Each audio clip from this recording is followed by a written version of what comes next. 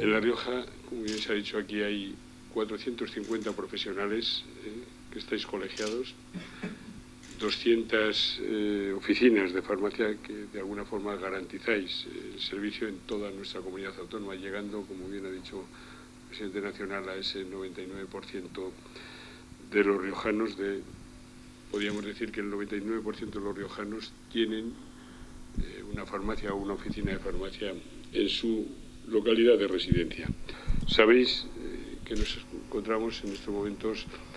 en fase de desarrollo de lo que es el tercer plan de, salud de La Rioja en el que queremos seguir mejorando nuestro sistema sanitario y por eso buscamos de alguna forma incorporar la salud a todas las políticas públicas. Y además de ello queremos corresponsabilizar al, ciudadano y hacer que se convierta un agente activo en lo que es la propia salud. Por eso queremos también fortalecer nuestro sistema sanitario con nuevos medios humanos y sobre todo medios técnicos. Y para ello, lógicamente, contamos con todos vosotros, eh, con este